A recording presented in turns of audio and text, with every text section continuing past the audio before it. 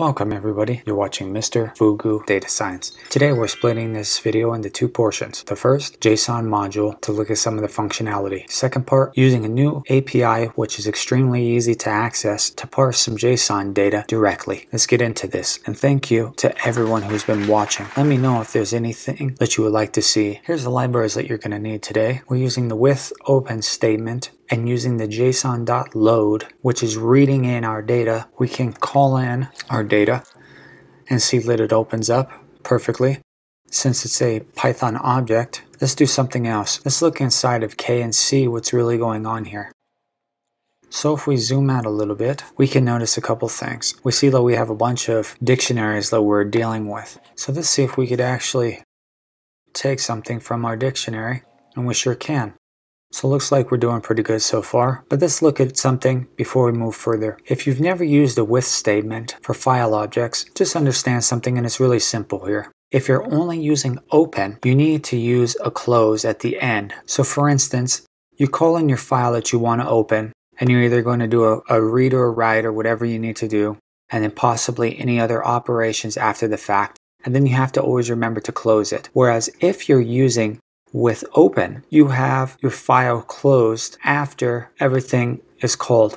So you don't have to worry about remembering to do this. And for me, it's more useful because I forget or I'm lazy. Now, you have some parameters after you call your file and you have this mode and that mode is your parameter that you're throwing in there such as a read, write, append, etc. And you have variations that you can do like a read binary, write binary, or you could do read and write together if you added the plus in front of it we have this json.dump and dump s. And the only thing that you got to consider or even understand is that you're doing something called serialization, which is basically encoding or taking your data, your object, and you're storing it for later. And so if you're using just the json.dump without the s, you're storing a file. If you add the s, it's just converting or encoding your Python object into a string. And that's all. You can read my little funny joke right here. Well, I'm telling you this next part. You have this conversion table.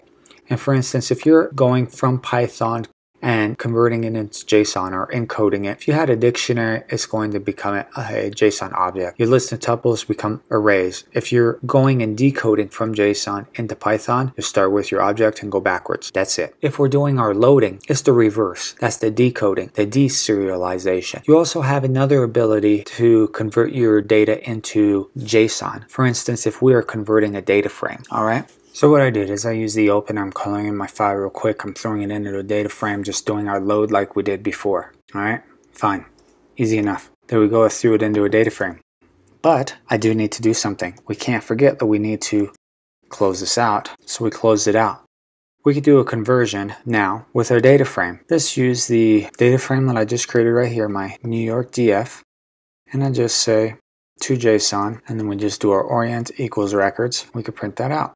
And there you go. So that's another way of doing the same thing. Sounds good to me. Why would this be an advantage towards using the with open and calling in that file? You may not be using a data frame. You may just be modifying some data, for instance, if you're calling in the with open statement, maybe doing some iteration, modifying the file, resaving the file, and kicking it out.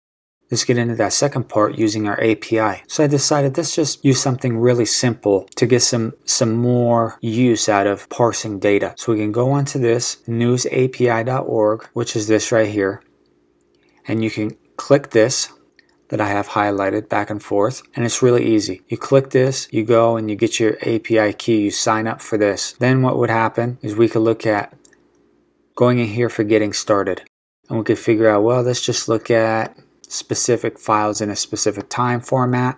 And then we could scroll down and look at some examples of what's going on here. For instance, here's the actual API and what you're looking for.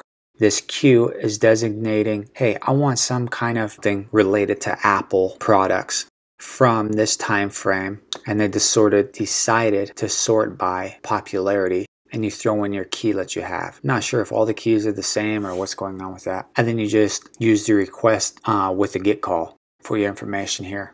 And then it'll print it out, all right? And then we could go and look at our headlines and we could say, all right, scroll down And here's some of the parameters we have. You could, since this API is working with, I don't know, 50, 55 countries worth of data, you could look at however many of these are, you can pull data from specific countries if you wanted, specific categories that you want to type in. You have to remember you can't mix your parameter, for instance, like you'll see in a second, I'll, I'll, show. But if we were like looking for specific entertainment, but then you wanted to throw in a country, I think it, that's what it means is giving an error, something like that, like it's saying here. Then you have this keyword for your phrase or some kind of search term. Today we're going to use it and look for technology just because I wanted to. You could say, hey, how many items do I want per page? The default is 20, but I'm using 60 and the max is 100. When you throw this in, this page, for instance, if I typed in 60 items per page, but I type two pages, it gives me an error because I have the free use case for this API. You can make around 500 calls per day. And then these are the keys that come out from your API call. So let's go back and let's look. This is extremely, this is extremely easy. The Twitter one was a pain when I did that. But here's what we got going on here. Here's the first key value pair, second one. Here's where we're going to start pulling everything out of, all right? So let's do something real quick. We can look and see that we have some title with some description, and then we're going to have however, however many characters this is going to show us later. And then we start with the next ones. Now, let's do something. So these are the keys that we were just looking at above. All right, this is what we need to start playing around with and iterating inside of. So let's do something here. Let's just decide to save this as some made up variable name. And then I'm going to call my response and my value I'm iterating inside of. What am I really doing here? Let me show you. I basically took everything that we needed so it's going by each one of our keys, right? It looks pretty good. We have two goofy things we need to take care of. The first one is this weird time formatting. If you notice, we got this T and the Z and then we still have this little dictionary here, but really I'm not considering this ID. This just for the fun of it, take the name and the value from this, okay? So let's do some iterating. And since we noticed this was a dictionary, so now I converted that dictionary into tuples where the first or the zeroth item for each tuple is going to be our key and then our values. But then you got for this value, you have a dictionary with two key value pairs. So that's going to be interesting to figure out how to do, right? And then everything else looks the same. So let's play with that. So what happened? I took my items that were my key value pairs, I turned them into a dictionary of tuples. I looked for the response or the source for our key and I appended that to our default dictionary list and only took the names that we were interested in here for our source. Then I took everything else and just appended it in with its key value pairs. But we still have this goofy thing that we need to take care of. So let's figure out how we can do with that. So if we look at this, we notice that we have a string. So I took the first entry for the published at column and found that we need to convert this into a date time. So we need to do some evaluating. So I'm just going to make up some string that I'm going to store some things in. So what did I do here? I needed to take in my data frame and pull out my column and I converted it into date time and this is the formatting that we had for our data. I wanted to verify that these data were changed so I took the first argument this is the column name since it's a dummy column name and throw in our list and verify the type which is indeed now changed to a date time format.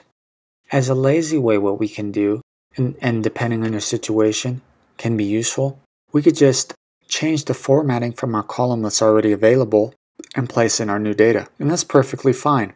If we, you know, in advance weren't sure about this formatting or didn't know we needed to change it or whatever the case may be. For instance, if we had an idea and we parsed those data and we decided in the beginning that we needed to deal with this while using the API, what can we do?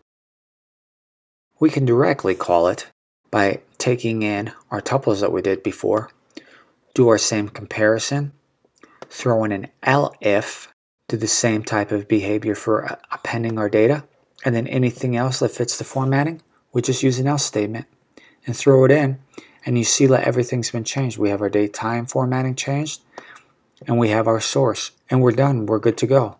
This is a very basic example today, some useful information that I hope somebody can get some use out of this and a bright utility to them. But as always, I'd like to say please like, share, and subscribe. And if you subscribe, turn on that notification bell. As always, I'll see you in the next video. Bye.